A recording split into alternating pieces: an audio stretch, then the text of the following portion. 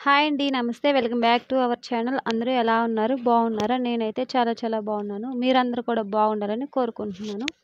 మరి ఇవాళ వీడియోలో పొడి కారం ఎలా తయారు చేసుకోవాలో చూస్తున్నామండి.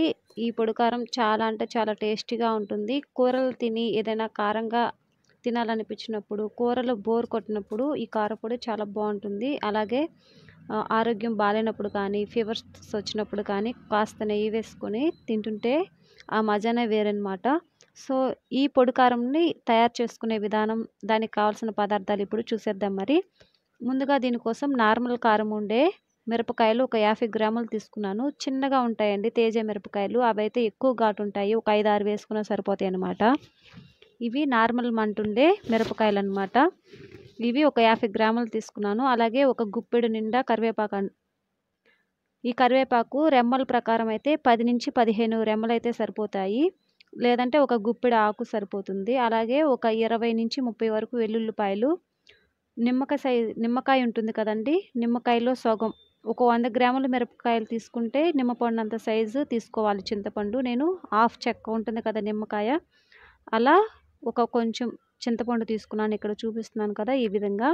అలాగే వీటన్నిటిని వేపుకోవడానికి కొంచెం నూనె తీసుకున్నాను. నూనె కొంచెం ఎక్కువ వేసుకుంటే అన్నంలో బాగా కలుస్తుందండి. అలాగే మంచి టేస్ట్ కూడా వస్తుంది. ఆ తర్వాత జీలకర్ర ఒక టీ స్పూన్ తీసుకున్నాను. అలాగే ధనియాలు రెండు టీ స్పూన్లు తీసుకున్నాను. ఇక్కడ మినప్పప్పు తీసుకున్నానండి రెండు టీ స్పూన్లు. పచ్చెనగపప్పు అయినా తీసుకోవచ్చండి. మినప్పప్పు ఆర్ పచ్చెనగపప్పు ఈ రెండిట్లో ఏదైనా ఒకటి తీసుకోవచ్చు. టేస్ట్ అనేది కొంచెం మంచిగా ఎన్హాన్స్ చేస్తుంది అనమాట కారపొడికి. సో వీటన్నిటిని ఇప్పుడు ఆయిల్ వేసుకుంటూ ఫ్రై చేసుకుందాము. ఇవన్నీ కూడా మందపాటి గిన్నె అంటే అడుగు మందంగా ఉండే గిన్నెలో వేపుకుంటేనే మంచిగా ఉంటాయి.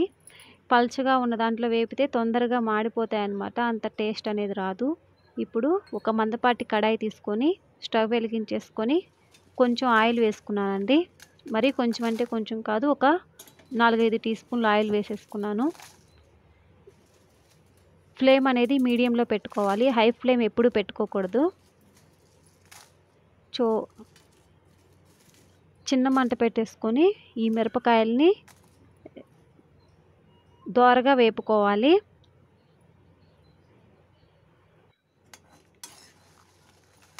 సో ఇవి చిన్న మంట మీద ద్వారగా వేపుకుంటేనే టేస్ట్ అనేది బాగుంటుంది. పెద్ద మంట పెట్టి కొంచెం మాడిపోయినట్లు కొంచెం వేగనట్లు ఉంటే కొ- మాడిపోయిందేమో కొంచెం చేదు వస్తుంది వేగందేమో పచ్చివాసన వస్తుంది సో టేస్ట్ అనేది మంచిగా రాదనమాట. సో మధ్య మధ్యలో ఇలా కలియబెట్టుకుంటూ మీడియం ఫ్లేమ్లో పెట్టుకొని దోరగా వేయించుకుంటేనే కారపొడి మంచి టేస్ట్ అనేది వస్తుంది. ఆ తర్వాత మళ్ళీ ఇంకొంచెం ఆయిల్ వేసుకోవాలండి. చెప్పాను కదా ఆయిల్ కొంచెం వేసుకుంటేనే అన్నంలో కలుపుకున్నప్పుడు పొడి పొడిగా ఉండకుండా కొంచెం ఆయిల్తో అన్నంలో బాగా కలుస్తుంది అనమాట ఆయిల్ వేసేసుకొని మనం తీసుకున్న ధనియాలు జీలకర్ర మినపప్పు ఇవన్నీ కూడా మంచి రంగు వచ్చేలాగా వేపుకోవాలి. ఇవి వేగేటప్పుడు ఒక మంచి స్మెల్ వస్తుందండి వేగితే. సో మనకు అర్థమవుతుంది బాగా వేగిపోయాయి అని చెప్పి. సో మంచిగా చిన్న మంట మీద ద్వారగా వేపుకుంటేనే టేస్ట్ ఉంటుంది. అవి వేగిన తర్వాత చింతపండు వేసుకోవాలి. ఆ తర్వాత మనం తీసుకున్న కరివేపాకు వేసుకొని మంచిగా ఫ్రై చేసుకోవాలి. ఈ విధంగా చూపిస్తున్నాను కదా కరివేపాకు మంచిగా ఫ్రై అయ్యి మనం పట్టుకుంటేనే విరిగిపోతుంది అనమాట ఆ విధంగా ఫ్రై చేసుకోవాలి. చిన్న మంట మీదే పెట్టుకోవాలండి. హై ఫ్లేమ్ అస్సలు పెట్టకూడదు. సో ఇలా వేపుకున్న తర్వాత చల్లారనివ్వాలి వీటన్నిటిని కూడాను. మిరపకాయలు ఈ కరివేపాకు ధనియాలు జీలకర్ర ఏవైతే వేపుకున్నామో వాటిని చల్లారనివ్వాలి పూర్తిగా. ఇవి చల్లారిపోయిన తర్వాత మిక్సీ పట్టుకోవాలండి. సో రోట్లో వేసి దంచుకున్నా పర్వాలేదు. దంచుకుంటేనే మంచిగా టేస్ట్ వస్తుంది.